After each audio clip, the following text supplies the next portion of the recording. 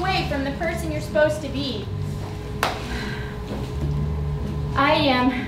That's what I'm doing right now. I'm trying to think back to that moment where I just got off that much from that path. And then I'm wondering if I'm supposed to be that person anymore, if I'm even good enough. God, I just don't know. You know what? Screw this. I can be that person. I can be who I'm supposed to be. Yeah. I